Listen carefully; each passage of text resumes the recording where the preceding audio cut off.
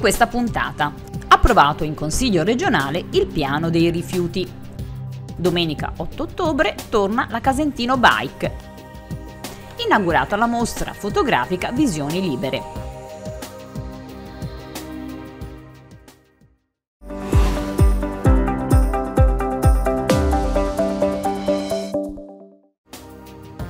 Consiglio regionale della Toscana ha approvato a maggioranza il piano regionale di gestione dei rifiuti e bonifica dei siti inquinati, piano regionale dell'economia circolare. È un piano che guarda al futuro e che è in linea anche con le indicazioni eh, del guardare futuro che fa l'Europa perché eh, è un piano che eh, dà alcuni obiettivi importanti, quello della riduzione nella produzione dei rifiuti, della riduzione eh, dei rifiuti che possono andare in discarica eh, riducendoli a meno del 10% quando saremo a, a, regime. È un piano che indica l'obiettivo eh, di una modalità quali quantitativa migliore per quanto riguarda riguarda la raccolta differenziata e che dà degli strumenti per creare delle filiere industriali invece per il riciclo e il recupero dei rifiuti. Quindi è una risposta che verrà data alle famiglie, che verrà data all'ambiente, ma che viene data anche all'economia perché in queste filiere industriali possono anche eh, nascere e sorgere eh, nuovi posti eh, di lavoro. Eh, noi siamo consapevoli che è una proposta importante eh, ma che ancora anche bisogno di alcuni perfezionamenti. C'è stato eh, un bando che ha puntato eh, a recepire la volontà di realizzare impianti anche innovativi eh, che eh, non hanno emissioni di CO2 in atmosfera. Abbiamo visto che questi impianti sono proposti in molti territori ma mancano invece in altri territori e il lavoro che deve essere ancora fatto è quello anche di stimolare, di accompagnare dal punto di vista politico e dal punto di vista istituzionale tutti eh, i soggetti interessati, soprattutto le comunità d'ambito, affinché in ogni territorio ci sia una dotazione impiantistica adeguata in maniera tale da eh, poter trattare i rifiuti facendoli circolare il meno possibile, perché con più i rifiuti vengono trattati correttamente in prossimità e con più ci sono eh, dei risparmi economici e migliora sicuramente il bilancio ambientale. Il piano è un piano come dire, che non è coraggioso, non fa una scelta di pianificazione, eh, nascondendosi un po' dietro le norme, ma in realtà a nostro avviso, come ho detto in aula, l'articolo 199 della legge 2006 ci permetteva ampiamente di dare più supporto alle amministrazioni locali, alle comunità, agli ATO, per dare una direzione che servisse anche, anche ad affrontare le difficoltà di quando si scende a terra con determinate tematiche su chi poi eh, questi impianti si ritrova a casa. In secondo luogo c'è un impatto molto ideologico, contrario ai termovalorizzatori, ma ahimè gli impianti nuovi a cui si guarda anche attraverso l'avviso pubblico sono impianti poco conosciuti, eh, difficilmente realizzati, ce ne sono pochissimi esempi, quindi si sa poco di questi impianti, non c'è una eh, concreta fattibilità sul campo e di questo si preoccupano soprattutto gli addetti ai lavori e sono molto costosi, pensate a Waste to Chemicals, 200, 200 milioni, 250 milioni il costo, mentre invece il termovalorizzatore è una tecnologia che conosciamo, che nel tempo è assolutamente migliorata dal punto di vista dell'impatto ambientale e che inevitabilmente chiuderà il ciclo o cercherà di chiudere il ciclo perché ad oggi le difficoltà sono grandi, basta vedere quanti rifiuti vanno fuori dalla regione, vanno fuori dall'Italia, dalla Toscana e quindi quanto è da un punto di vista economico il prezzo che i cittadini si trovano a pagare ogni giorno in Tari. Poi c'è un altro tema importante che potrebbe essere sfuggito, non essendo un tema classico. Durante le audizioni la responsabile per la partecipazione ha criticato fortemente la procedura di approvazione del piano e ha messo in evidenza degli elementi dicendo che c'è il serio rischio che questo piano venga impugnato e che possa essere annullato. E anche questo è un elemento sul quale ho richiamato l'attenzione del Consiglio regionale e della Giunta perché altrimenti il tempo veramente si rischierebbe di perderlo e seriamente. Questo piano dei rifiuti ha eh, innanzitutto una gestazione lunghissima, lo attendiamo da dieci anni ed è quasi pronto da tre e in realtà si è andato a creare, eh, grazie a quelli che sono stati gli interventi su avviso appunto fatto dalla regione dei privati. È un rovesciamento completo, invece di essere la regione toscana che ha dato delle indicazioni a seconda di quelle che erano le esigenze di smaltimento, gestione, raccolta rifiuti, ha chiesto ai privati dove vorreste fare un impianto e in base a quello daremo un'occhiata e cercheremo di fare un piano dei rifiuti su quella impostazione. Non solo, finanziariamente l'intero piano si appoggia su alcuni aspetti e su alcuni impianti, come per esempio il gassificatore di Empoli, che è stato respinto dalla popolazione, che in pratica sovverte completamente l'equilibrio finanziario di questo piano. Insomma, probabilmente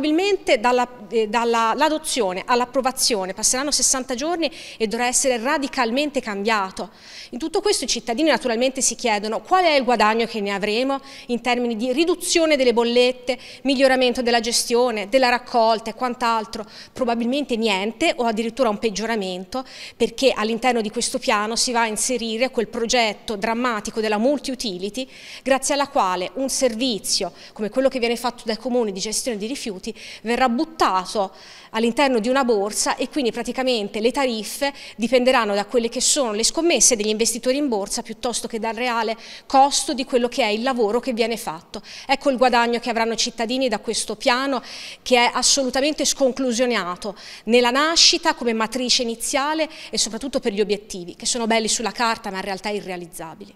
Ma Italia Via è stata determinante nel sostenere un piano dei rifiuti che di fatto diventa un piano dell'economia circolare che noi abbiamo trasformato in piano industriale, un piano che produce lavoro, che produce energia, che produce calore, quindi fa dei rifiuti una materia prima per la produzione industriale che in Toscana era necessaria. Una Toscana che diventa solidale, dove territori importanti come Siena, Arezzo, eh, Pisa, Livorno, Grosseto danno anche una mano solidaristica all'area della piana fiorentina che non è stata in grado in questo momento di riorganizzare al proprio interno la propria definizione infrastrutturale, la Toscana che diventa una regione unica. Per questo noi abbiamo anche sostenuto una battaglia di un ambito unico territoriale e continueremo a sostenerla. Il dato politico rilevante di questa battaglia sui rifiuti è che Italia Viva è stata determinante nell'accelerazione per l'approvazione di un atto che era dovuto dopo tre anni, che era un impegno di legislatura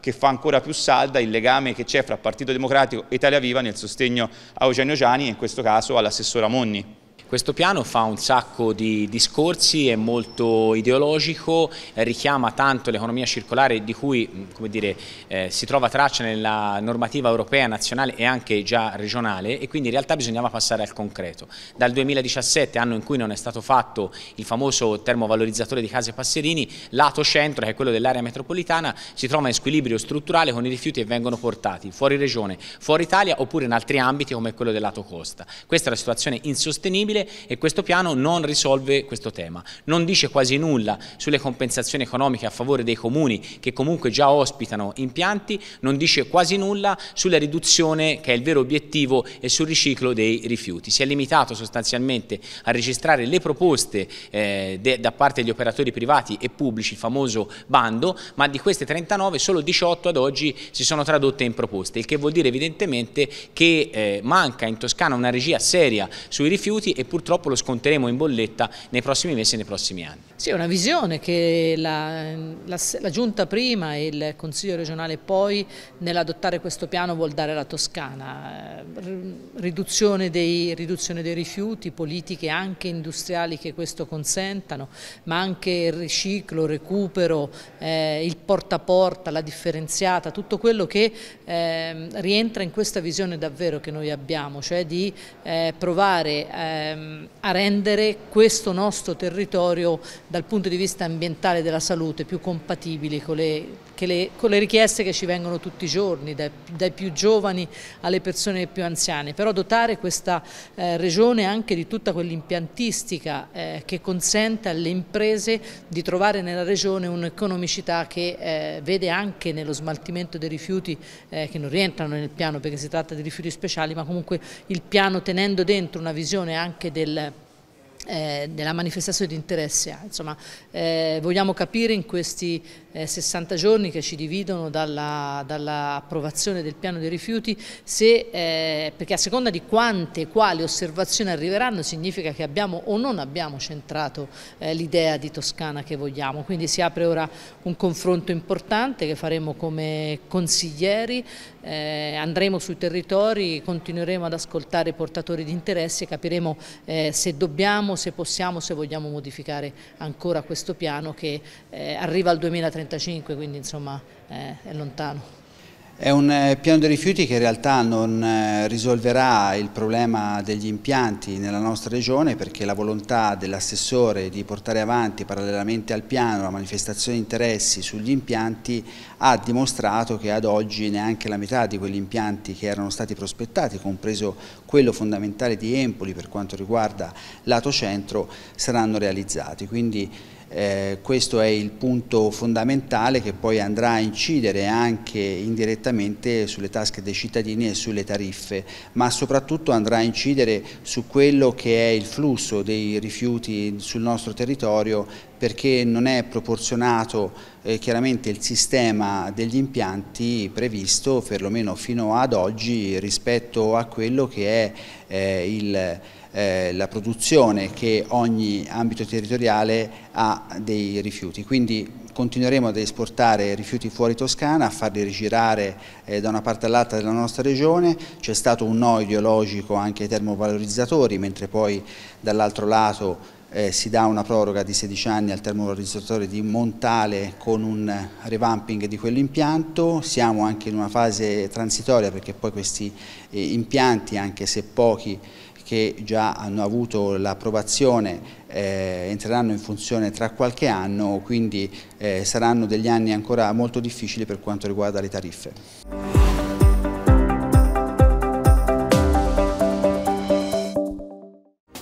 Appuntamento da non perdere per gli appassionati di mountain bike, quello con la Casentino Bike arrivata alla trentesima edizione, un anniversario condiviso con il Parco Nazionale delle Foreste Casentinesi e per l'occasione la gara entrerà nel cuore del parco, sui tracciati aperti in esclusiva per questa manifestazione, come il Sentiero dei Tedeschi e il Passaggio del Lupo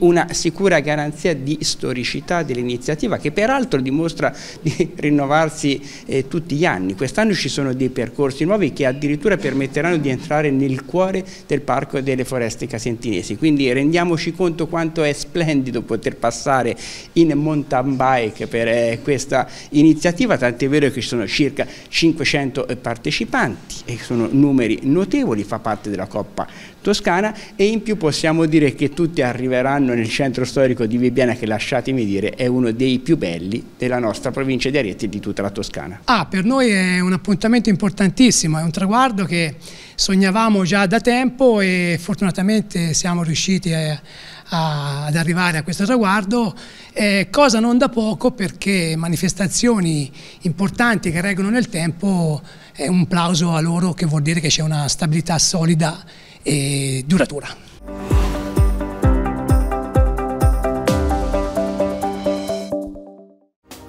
È stata inaugurata la mostra fotografica Visioni Libere, curata dal Fotoclub Firenze nello spazio espositivo Carlo Azeglio Ciampi a Palazzo del Pegaso, un'esposizione per celebrare i 33 anni di nascita del club. Visioni Libere, lo sguardo un po' pensato che è dovuto alla fotografia ci invita ecco, a un rapporto eh, più immediato con la realtà. La fotografia è qualcosa che deve essere sostenuto, valorizzato. Sappiamo quanto questo palazzo sia aperto verso l'esterno con tutta una serie di iniziative, di mostre e la fotografia merita la giusta considerazione. Oggi siamo abituati un po' tutti con il telefonino a fare dei scatti,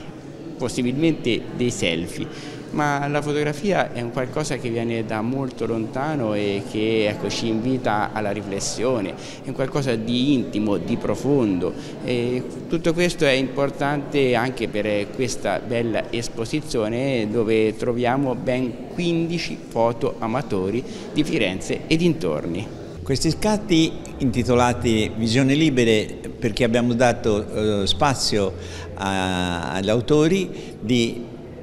eh, esprimersi nella maniera